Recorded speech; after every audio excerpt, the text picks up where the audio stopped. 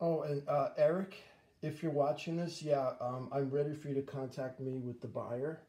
Um, so just send me a message and an email. I hope you're well. And uh, don't forget, you owe me a nice little chunk of change, buddy. Peace, love, and harmony.